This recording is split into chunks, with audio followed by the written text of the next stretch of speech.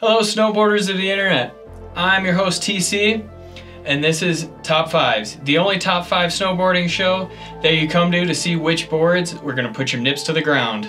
In this week's top five, we're gonna be talking about the top five best carving boards for the 23-24 season.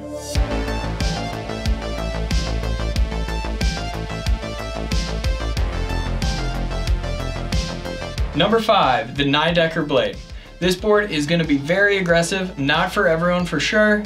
That being said, it's gonna be nice and damp, great edge hold on it.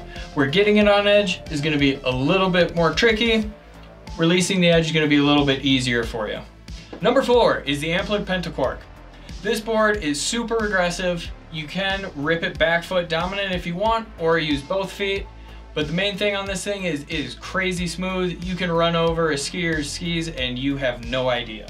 Number three is gonna be the Ride Peace Seeker.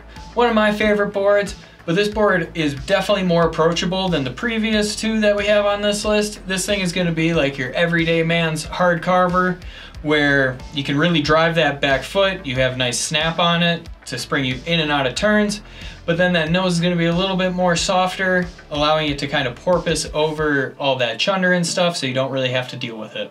Number two is the Korua Cafe Racer Plus. This board is definitely gonna be stiff. That being said, it's more approachable than you think, where it does have a layer of titanium in it, causing you to feel a little bit more micro vibrations. But that being said, you could still plow through any of the chunder or any mogul fields without even noticing. Honorable mentions, these boards all rip, they just weren't able to crack our top five this year. It would be the Libtech Steely D, the Korua Pencil Plus, and the Arbor Annex.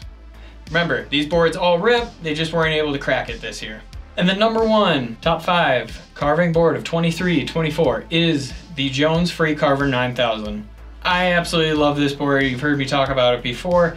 This thing holds an edge like no other. It is still nice and easy to turn, but that edge hold is unmatched. You could still pop on it, but this thing carves hard and is extremely fast. Definitely more for that aggressive rider, but that being said, you could still kind of take a run off on it and just enjoy yourself.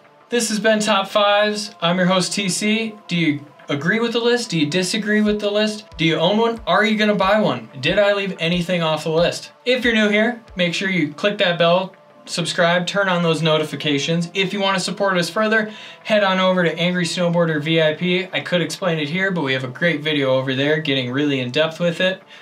And as always, guys, I'm your host, TC, and I'll see you carving out there on those boards.